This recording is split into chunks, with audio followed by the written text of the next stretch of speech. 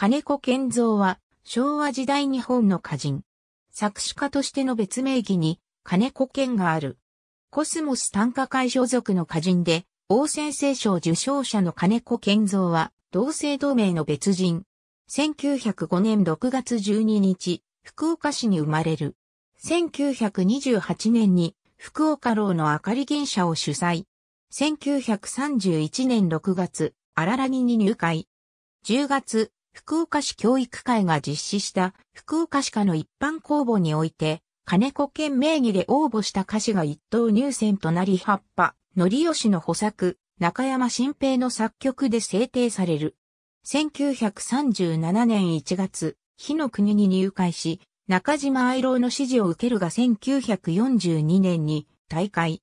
戦後は福岡から神戸へ移り、ヤンマーディーゼル総務部長、人事部長を経て、グループ企業の小運工作所、ヤンマー船舶機器で常務取締役に至る。1971年、夢単科会に入会。定年退職後の1975年11月、西日本新聞社から戦後に福岡市下が大時代的な歌詞を理由に演奏されなくなったことについて取材を受け、やむを得ないこと。新時代にふさわしい新しい歌にすべきだろうとコメントする。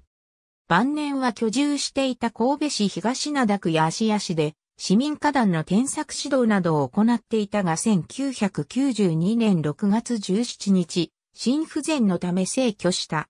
去年87。没後の1993年、短歌雑誌、夢3月号で追悼特集が組まれている。ありがとうございます。